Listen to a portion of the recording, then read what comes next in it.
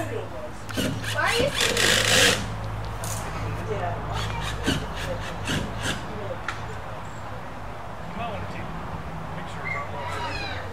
I've squared up with him.